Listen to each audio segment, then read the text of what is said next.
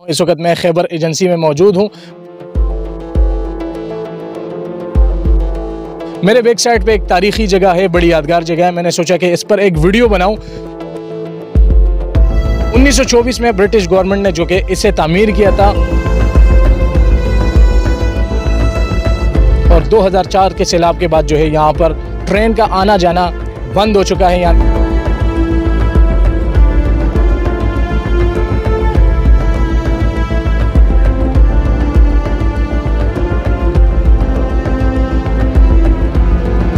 इस यहाँ के दरवाजे अगर मैं आपको दिखाऊँ बड़े पुराने किस्म के दरवाजे हैं लकड़ियाँ इसमें यूज़ हुई है। सतानवे साल पुरानी जगह है ये और यकीन करें बड़ी खुशी होती है जब इस तरह की जगहों को हम देखते हैं। पुराना दौर याद आ जाता है पुराना वक्त याद आ जाता है और हमारी कोशिश होती है कि हम अपने व्यूवर्स को ऐसी जगह जो है वो दिखाते रहे। कि 2004 के बाद ये जगह वीरान हो चुकी है मतलब ट्रेन चल ट्रेन यहाँ पे नहीं आते ये बंद हो चुकी है 2004 के बाद से ये जगह।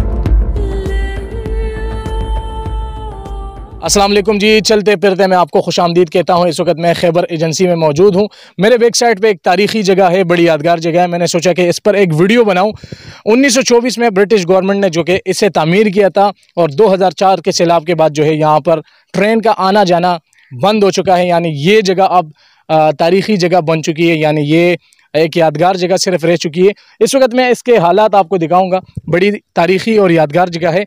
लंडी कोतल को जो है ये आपको जमरोद से लंडी कोतल की तरफ़ ये यहाँ से ट्रेन चलती थी, जिसमें ब्रिटिश गवर्नमेंट के लोग और उस वक़्त के जो लोग थे यहाँ के, वो सवारियाँ किया करते थे। सफारी ट्रेन चलती थी। 2004 के बाद से जो है इसे बंद कर दिया था। अंदर चलते आपको दिखाते हैं।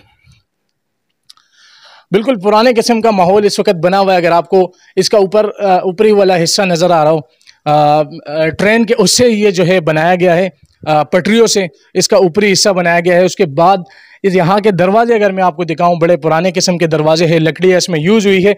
यहाँ के पत्थर भी आपको ब्रिटिश गवर्नमेंट की जो है वो याद दिलाएगी। पुराने पत्थर इसमें यूज़ हुए हुए हैं। पुराने ब्लॉक्स जो कि उस वक्त छोटे छोटे पत्थर होते थे, वही यूज़ हुए हैं। 2004 के बाद से ये जगह बिल्कुल वीरान और एक तारीखी जगह जो है वो बन चुकी है। यहाँ पर आपको एक बेंच देखने को मिलेगा, जो कि एक बेहतरीन किस्म का बेंच है। इस पर आप बैठ के भी यहाँ के नज़ारे और आपको ऐसा लगेगा कि मैं पिछले दौर में बैठा हूँ। ये बड़ी सुकून वाली जगह है, बड़ी वीआईपी जगह है। इसके बाद अगर हम आपको थोड़ा आगे और ले चले तो यहाँ आपको पुराने, वही पुराने दरवाजे, वही खिड़कियाँ जो है, वो आपको नज़र आएँगे। 1925 के बाद, यानी सतानवे साल पुरानी जगह है ये। और यकीन करें बड़ी खुशी होती है जब इस तरह की जगहों को हम देखते हैं। पुराना दौर याद आ जाता है, पुराना वक्त याद आ जाता है और हमारी कोशिश होती है कि हम अपने व्यूवर्स को ऐसी जगह जो है, वो दिखाते रहे। खैबर एजेंसी इस वक्त पाकिस्तान में जम हो चुकी है और ये जगह जो है अभी पाकिस्तान गवर्नमेंट के पास है। तो ये एक तारीख़ी जगह है। इन इसी तरह मिलते रहेंगे। मज़ीद तारीख़ी जगहों के साथ मुझे इजाज़त दीजिएगा। अल्लाह हाफिज़।